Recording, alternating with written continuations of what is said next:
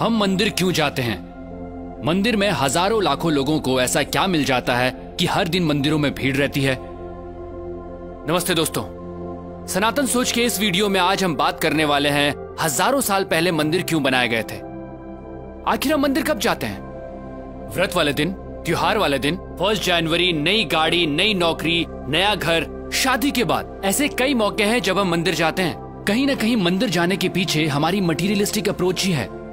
हम कुछ मांगने जाते हैं या कुछ मिल जाए तो भगवान को थैंक यू बोलने जाते हैं। क्या वाकई हज़ारों साल पहले मंदिर इसी वजह से बनाए गए थे? आखिर मंदिर बनाने की वजह क्या रही होगी? हमें क्यों आवश्यकता पड़ी होगी मंदिरों की? क्यों हमारे इतिहास में ऐसे ऐसे मंदिर बनाए गए, जिन्हें बनाने में दशकों लग गए थे? दोस्तों डिवाइन पावर को और इंटेंसिफाई रूप में पाने के लिए मंदिर बनाए गए। इसे यूँ समझिए, जिस तरह साउंड वेव्स को कैच करने के लिए सेलफोन चाहिए ठीक उसी तरह डिवाइन पावर को उसकी नेचुरल इंटेंसिटी में कैच करने के लिए चाहिए एक पावरफुल टूल जो है मंदिर। एक तरह से यूँ समझिए कॉस्मिक कनेक्शन के लिए बनाए गए पावरफुल टूल है मंदिर। ये एक पॉसिबिलिटी है। उस डायमेंशन को छूने की जिससे हम इंसान बने। ये संसार बना। ये ब्रह्मांड बना। और ब्रह्मांड में दूसरे आयामों से कनेक्शन बैठाने के लिए हमारे पूर्वजों ने न सिर्फ़ मंदिरों में डिवाइन स्ट्रक्चर स्थापित किए, बल्कि उन्हें कॉन्सिक्रेट यानी प्राण प्रतिष्ठित भी किया। प्राण प्रतिष्ठा मतलब मूर्तियों में जान आ जाना नहीं होता है दोस्तों। ये प्राण एनर्जी की तरह प्रतिष्ठित किए जाते हैं।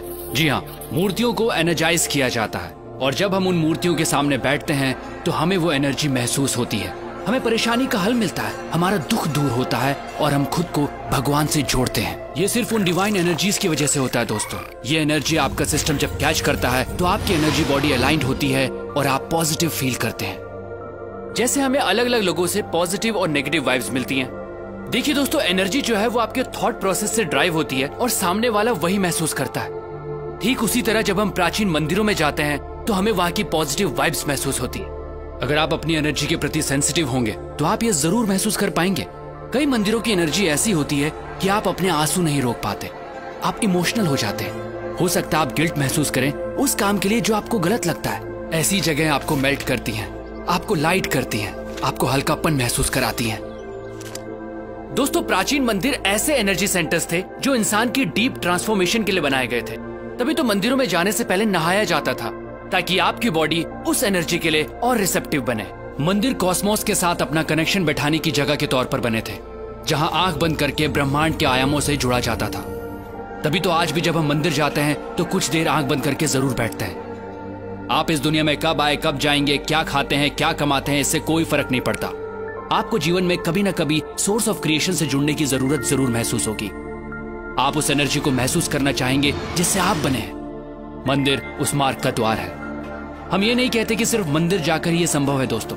अगर आपके घर में मंदिर जैसा एनवायरमेंट है कॉन्सिक्रेटेड मूर्ति है तो आप कॉस्मोस के साथ अपने कनेक्शन को और स्ट्रॉन्ग कर सकते हैं। हमें जितना हो सके इस एनर्जी के पास रहना चाहिए। प्राण प्रतिष्ठित स्थानों पर जाना चाहिए। खासकर 14 साल से कम उम्र वाले बच्चे, अगर कॉन्सिक्रेटेड स्पेसेस पर रेगुलरली जाते हैं तो उनकी एडोलिसेंस प्रॉब्लम्स बहुत हद तक अपने आप रिजॉल्व हो जाती हैं। दोस्तों, मंदिर या कहिए कॉन्सिक्रेटेड स्पेसेस उस डायमेंशन से जुड़ने का द्वार है, जहाँ से हमारी उत्पत्ति हुई है। ये एक तरह की टेक्नोलॉजी ही जिससे हमारा एनर्जी सिस्टम ऐसे अलाइंड होता है कि हमारा जीवन को देखने का नज़रिया ही बदल जाता है। तो अगली बार जब भी किसी मंदिर में जाएँ तो वहाँ की प्राण प्रतिष्ठित मूर्ति और उस कॉन्सिक्रेटेड स्पेस की एनर्जी को अपनी एनर्जी सिस्टम से एक होता ज़रूर महसूस कीजिएगा।